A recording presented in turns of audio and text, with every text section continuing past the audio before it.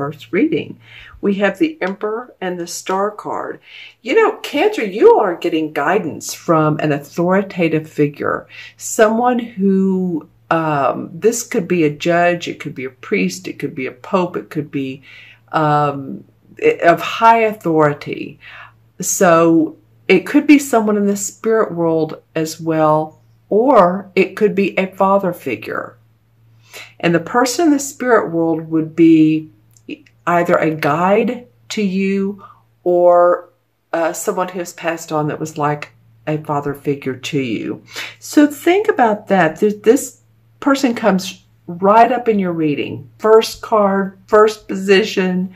Um, so there's a lot of meaning in that.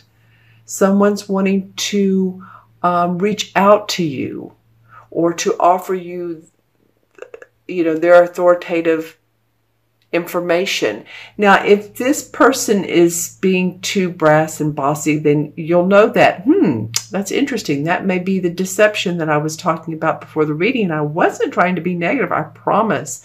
Um, it's just that it's come up so much. And the crystal, I'm seeing a mask, but you know, this person usually represents someone in authority who is in our, our benefit but it could also be someone who's giving you some uh, problems, issues. They're not coming off as who they say, like I said, who they say they are. But put in the comments below because it's interesting. Facing them, we have the star card. So whatever comes from this person or away from this experience is really going to enlighten you. The stars are magnetic for you. Your guides are around you again. So I, I really want to say that the feeling is of enlightenment. Um, she's pouring the water from both cups, so she's feeling the flow of life. And it may be like a really spiritual experience that you gain that couldn't come from anybody else but this person right here. Or it could, but not in the same way. There's a lot to be gained for your growth, for your experience, for your from your guides that are wanting to talk to you.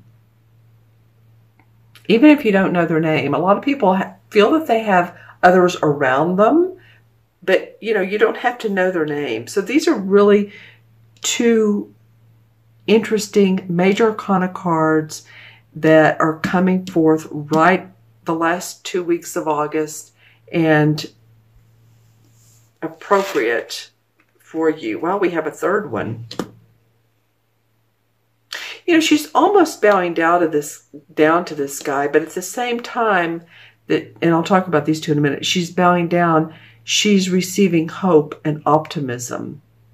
So there's something about this emperor. I want you all to, if you would, if you want to, put in the comments below who this emperor is in your life because they're going to be different people to all of you. Okay, so here we have for September, we have the Empress and we have the Knight of Cups. Now, I want to say the Knight of Cups is could be you. It's a water sign, Cancer, Scorpio, or Pisces, Sun, Moon, or Rising. And offering their love, you know, offering their your intuitive and, and creative abilities. Um, uh, proposing, whether you're man or woman, you know, or an offer of proposal. I'm just saying it's, and this comes from the Empress. So this Knight of Cups is facing the right, and it feels like this Empress. Here we have the Emperor and the Empress. I just noticed that. Wow. Okay, Cancer.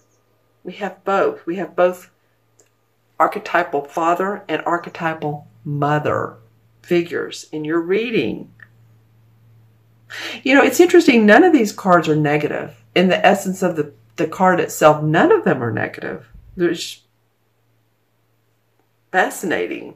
So we have a lot to maybe be learned from parents, um, whether it's something that was beneficial to you and you've learned that, or something that wasn't beneficial, but you've learned how to cope with that and or use it to your benefit. If your parents are deceased in the spirit world, they are sure showing up for you in this reading. Or grandparents, it could be that. It could be. You know, the Empress is mother. She's creative. She's the birth of, birth of a baby, birth of a project. So this also could be that she's helping you or there's a new project being birthed and you're going to take it forward and you're very happy about it. And maybe you're proposing it to someone else, maybe a new job, a new, um, I got collection. So if you're a collector of whatever arts, artifacts, um, you know, anything, China, I'm just saying, um, you're you're creating something anew that makes you happy. And it feels like the the mothering the the birth of this empress how she tends to um, unfold her love and her abilities to nurture people nurture projects nurture life. It will benefit you enable you to bring this forward into your into the world. It's interesting reading. Okay. I want to, for some reason, look at the bottom card here. It's It's been itching at me. do it, do it. Look at the bottom card. And we have the Four of Wands, which is a great celebration card. This is usually about work. It can be about a relationship. There's harmony, there's hope, there's congratulatory, you know, seeing the fruits of your labor. Um, so that's a nice card as sort of a clarification. You might be seeing new hope in your work and in your relationships. Maybe some of your relationships have been a little bit off. That wouldn't surprise me. So you might want, because this reading is so, um, it's grounded, but it's kind of seventh chakra stuff over here a little bit. So you might want to watch this reading again in the middle of September and see how this plays out for you. You know, a lot of these readings play out over the next three and four months, but this is the, the foundation of it. So I'm going to look into the crystal and see what's up for Cancer mid August through mid September.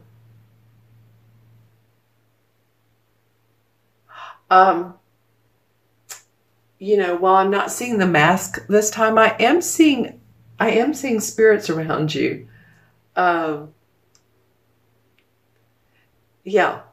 So some for this is for some cancers. So don't freak out. Don't get excited or too excited. These these might be you know spirits that that are you know family. It might be too that if you've had any instances with uh, ghost or spirits in your house that you don't know where you're hearing noises, that may come up. That may be what this is about, but this could be father mother too. I'm just saying it's coming up in the crystal. Okay, so uh, this is for the looks like the Car- Caribbean islands. Um, this might be more of a global reading, and I'm just happening to pick it up in Cancer. Interesting. Um, my feeling was any hurricanes that are coming that way, I, obviously, and I don't think that this year will be as horrific as last year. We had three major hurricanes that hit, you know, the Texas coast, uh, Puerto Rico, Florida. I mean, it was just a mess. But I am getting that. I am getting it's more safe this year, but you know, it just looked like it was a global forecast coming up in your reading, Cancer. Interesting. And of all, you know, the signs, the water signs, you all being as intuitive as you are. So if you're picking up anything globally, you know, if you would like, put it in the comments below because some of you are very, very, very intuitive. Well, all of you are but some of you use it on a either professional basis or you just you just know it. Okay. Anything? What else is coming up? Oh, there's the mask. Okay. So, eh, you know, hey, Mercury's in retrograde. Just discern who you want to be around, who you want to communicate with. So fascinating. It's come up in almost every sign. All right. What else is coming up? Anything for Cancer?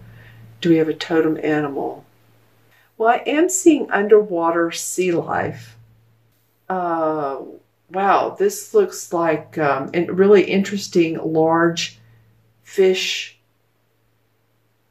that you would see. It almost looks like it has a wingspan, but it's a fish. It's not a jellyfish, um, but it is. There is a lot of underlife, underwater sea life.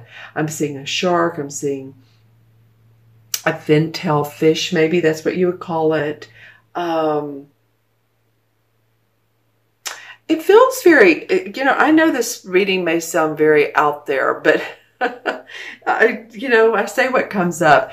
This feels very under underground, or how do I want to say it? Lemurian, Atlantean. Maybe that's the feeling I'm getting. Atlantean kind of essence around you all. Um, I don't know if any of you connect with that, uh, connect with the Atlantean uh, era, uh, Lemurian maybe. So that's I think what I was getting around the underground sea life. It, it was an archetype. Okay. Interesting. So if any of you all want to read about that time period, especially the Atlantean, it might be very interesting to you. Okay. A lot of, like I said, seventh chakra stuff. We have some groundedness, but yeah,